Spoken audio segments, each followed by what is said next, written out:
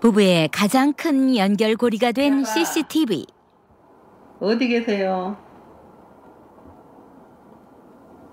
저기 오시네요. 어? 저기 보세요.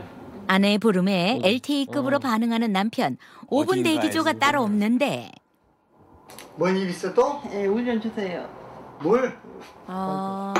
아픈 아내를 위한 SOS 기능도 필수. 여기 있어요. 몸을 쉽게 가눌 수 없는 아내를 혼자 남겨둬야 하는 마음. 오죽할까. 부르실 때도 그러니까 이제 봐. 이제 봐. 어디 계세요? 하루에도 수차례 집을 오가는 남편.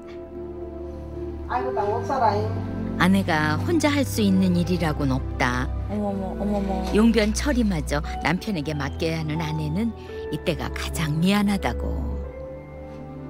바로 화장실에 여기지만 가들 못해요. 아 들고 들고 가질. 예, 못해요. 하나에서 열까지 다 미안하고 죄송해요 정말. 38년 전 부부의 연을 맺은 두 사람.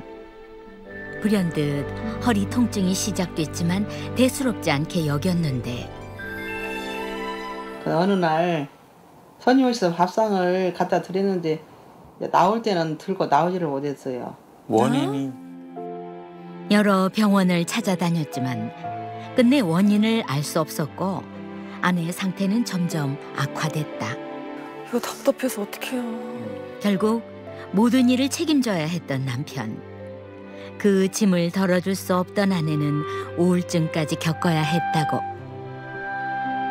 처음엔 정말 죽고 싶은 심정밖에 없었어요. 어떻게 하면 죽어 소리 없이 죽을까? 그 생각밖에 안 나더라고요. 죄인이 된 것 같았던 아내. 이런 아내의 손을 잡아준 것 역시 남편이었는데